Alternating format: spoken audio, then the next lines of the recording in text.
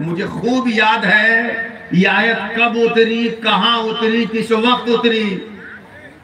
अल्लाह ने तो इस आयत को नाजिल ही अरफा के मौके पे जुमा के दिन सब लोगों के बीच में किया, यानी कई कई ईद जमा थी। तब अल्लाह ने इस आयत को उतारा। तो हमें अलग से ईद बनाने की ज़रूरत नहीं। ये तो खुशी के मौके पे अल्लाह ने उतारा ही है इस आयत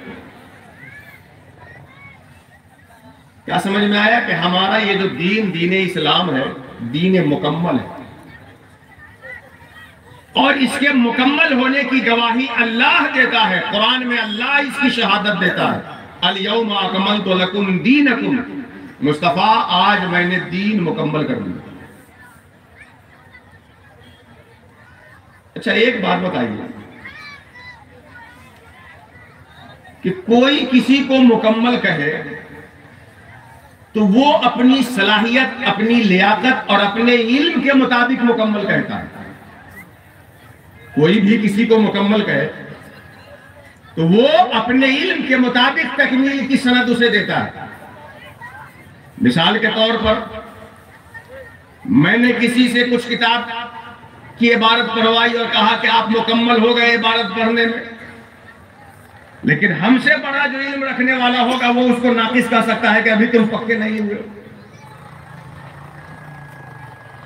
किसी छोटे कॉलेज से, कम मेयारी कॉलेज से कोई मुकम्मल होकर निकल जाए, और ये बहुत मुमकिन है कि मेयारी कॉलेज में उसका एडमिशन भी ना हो सके आगे की तालीम के लिए।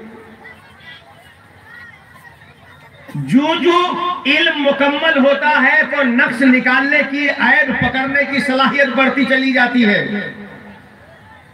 कोई आलिम मुकम्मल कहे तो बड़ा आलिम उसमें नक्श निकाल सकता है। कोई मुफ्ती मुकम्मल कहे तो बड़ा मुफ्ती उसमें नक्श निकाल सकता है। एक डॉक्टर किसी को फिट करार दे तो उससे बड़ा डॉक्टर उसके अंदर कोई अनफिट होने के असबाब निकाल सकता है। एक इंजीनियर किसी इमारत को सही करार दे, बड़ा इंजीनियर उसके अंदर कोई कमी निकाल सकता है। पता क्या चला कि जो जो इल्म बढ़ता है, नक्श पहचानने की सिफत बढ़ती चली जाती है। इस दीन इस्लाम को मुकम्मल किसी मखलूक ने नहीं कहा, किसी आलिम ने नहीं कहा, किसी फाजिल ने नहीं कहा, किसी डॉक्टर ने नहीं कहा।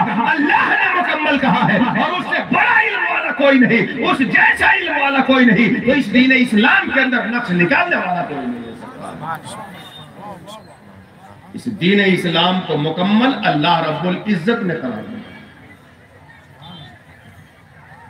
और इसके मुकम्मल होने के दो माना हैं।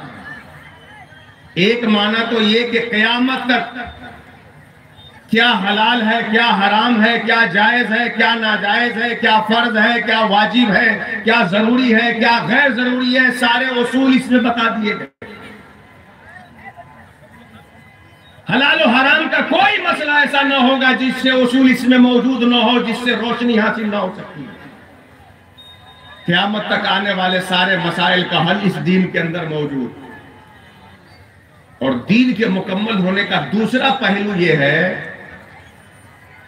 कि अल्लाह ने इस दीन को उतारा है बंदों को ज़िंदगी में अप्लाई करने के लिए, अमल करने के लिए। ये दीन मुकम्मल है। क्यामत तक चाहे जैसे हालात हो जाए कोई हालत ऐसी नहीं हो सकती जिस हाल में इस दिन पे अमल न किया जा सकता इस दिन के मुकम्मल होने का दूसरा पहलू क्या है? ये दिन दीन मुकम्मल है।